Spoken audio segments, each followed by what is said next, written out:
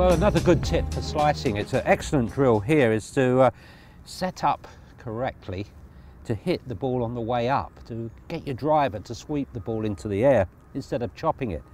Now, this has been customized earlier. See where it says D, D for driver, D for Denis. And on this drill, watch what happens.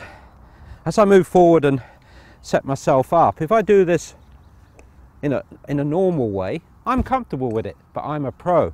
You'll be stretching probably because you've been a slicer, you'll be stretching this shoulder up and out, and that's the perfect recipe now for the glancing blow, the wrong position. Now, it's no good me keep telling you what to do from here. Let's help yourself by using the golf improvement system. Put it back opposite the locator there. Now watch what happens. Much easier for you to feel the right shoulder back.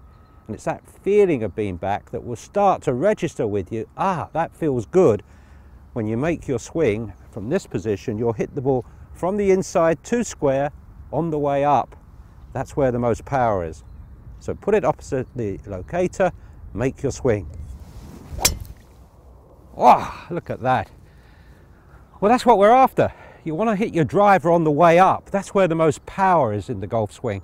That's the way you're going to hit your long drives. Now, if you're chopping down on the ball, that's going to be a glancing blow. That's going to be a weak shot. And you're not going to enjoy what it's like to walk down the fairway with your chest out, having hit it a long, long way.